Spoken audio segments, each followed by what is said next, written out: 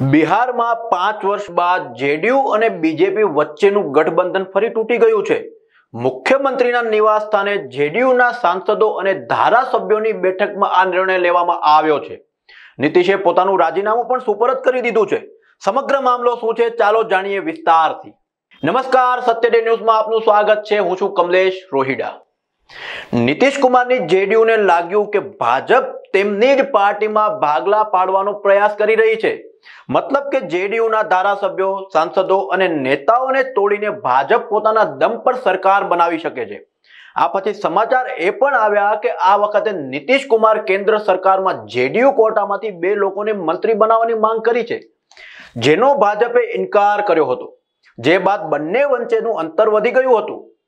સત્તર જુલાઈએ કેન્દ્રીય ગૃહમંત્રી અમિત શાહે મુખ્યમંત્રીની બેઠક બોલાવી હતી. રાષ્ટ્રધ્વજ સાથે જોડાયેલી આ ચર્ચા નીતિશ કુમાર સુધી પહોંચી ન હતી. જ્યારે આ કાર્યક્રમમાં અનેક રાજ્યોના મુખ્યમંત્રીઓએ ભાગ લીધો હતો. વર્તમાન રાષ્ટ્રપતિ દ્રૌપદી મુર્મુનો શપથ ગ્રહણ સમારોહ પચીસ જુલાઈએ હતો. જેમાં દેશના તમામ રાજ્યોના મુખ્યમંત્રીઓ અને રાજ્યપાલોને પણ આમંત્રણ આપવામાં આવ્યું હતું. આ દરમિયાન પણ તેઓ પહોંચ્યા ન હતા. સરકારમાં સાથે હોવા છતાં એક તરફ નીતિશ કુમારના બીજેપી સાથેના સંબંધો ખરાબ થઈ રહ્યા હતા. તો બીજી તરફ આરજેડી સાથે વધુ સારા હતા. એવા ઘણા પ્રસંગો હતા જ્યારે નીતિશ કુમાર આરજેડીના વડા લાલુ પ્રસાદ યાદવ અને તેમના પુત્ર તેજસ્વી યાદવની નજીક જોવા મળ્યા હતા. સંબંધોની આ નિકટતા બંનેના નિવેદનો પરથી પણ દેખાતી હતી. નીતિશ કુમારે તેજસ્વી અને તેમના પિતા લાલુ પ્રસાદ યાદવ વિરુદ્ધ તીક્ષ્ણ શબ્દો બોલવાનું બંધ કરી દીધું હતું. જ્યારે તેજસ્વીએ પણ નીતિશને નિશાન બનાવને બદલે કેન્દ્ર સરકાર પર પ્રહાર કરવાનું શરૂ કર્યું હતું. ગયા મહિને છ જુલાઈના રોજ લાલુ પ્રસાદ યાદવની તબિયત અચાનક બગડી ગઈ. તેમણે પટનાની હોસ્પિટલમાં દાખલ કરવામાં આવ્યા હતા. તેની હાલત અત્યંત નાજુક હતી. માહિતી મળતા જ નીતિશ કુમાર હોસ્પિટલે પહોંચ્યા. ત્યાં તેઓ લગભગ અડધો કલાક સુધી લાલુ સાથે રહ્યા. બિહારમાં મુખ્યમંત્રી નીતિશ કુમાર ફરી એકવાર ગઠબંધન સાથે સરકાર બનાવશે. નીતિશ કુમારે મંગળવારે બપોરે સાડા ત્રણ વાગે રાજભવન જઈને રાજ્યપાલ ફાલ્ગુન ચૌહાણને પોતાનું રાજીનામું સોંપ્યું છે. આ પછી તેઓ અહીંથી સીધા પૂર્વ મુખ્યમંત્રી રાબડી દેવીના ઘરે પહોંચ્યા. જ્યાં રાબડી દેવી અને તેજસ્વી યાદવે તેમનું સ્વાગત કર્યું. બાદમાં સાંજે નીતિશ કુમાર ફરી રાજભવન ગયા અને રાજ્યપાલની સામે સરકાર બનાવવાનો દાવો રજૂ કર્યો.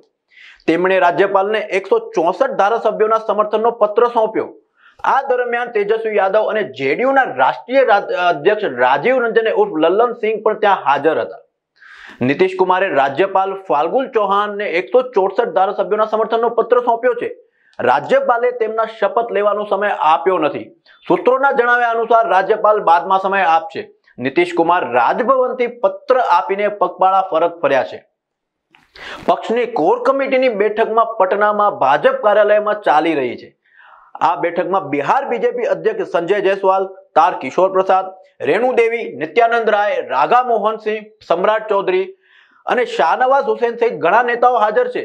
બુધવારે સાંજે ચાર કલાકે ભાજપ ધારાસભ્ય દળની બેઠક યોજાશે વધુ સમાચાર માટે જોતા રહો સત્યડે ન્યૂઝ.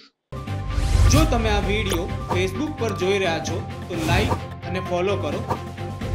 અને યુટ્યુબ પર જોઈ રહ્યા છો, તો અમારી ચેનલને સબસ્ક્રાઇબ કરો. સત્તરે ડોટ કોમ આઝાદી સમાચારોની.